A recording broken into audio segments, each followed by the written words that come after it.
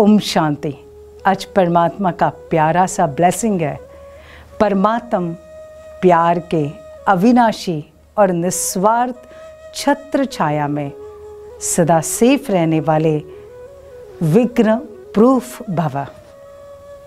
जो परमात्मा का प्यार अनुभव करते हैं, जो प्यार सदा अविनाशी है और निस्वार्थ है, उस प्यार में मगन रहते हैं। ऐसी आत्माएँ विघ्नों से बची रहती है। विघ्न उनके पास बार बार आते हैं, जो परमात्मा के प्यार के वंचित है। और इसलिए परमात्मा के उस अविनाशी और निस्वार्थ प्यार का सुंदर आनंद लेते रहे तो क्या अनुभव करेंगे? विघ्न अपने आप आपसे दूर रहेंगे। विघ्न प्रूफ बन जाएँगे, जैसे वाटर प्रूफ कपड़े रहते हैं। उस पर एक बूंद भी पानी के टिक नहीं सकते।